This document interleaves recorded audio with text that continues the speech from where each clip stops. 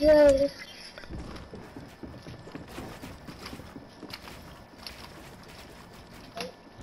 You like how I fight? How did you freaking win?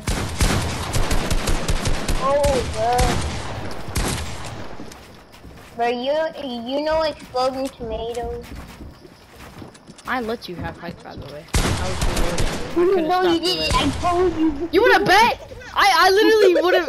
Okay, I was reloading. Okay, stop the cap, buddy. Oh, that was nasty. Stop the cap, buddy. Stop the cap. You though? Stop the cap, buddy. Just let me kill you. No, bro.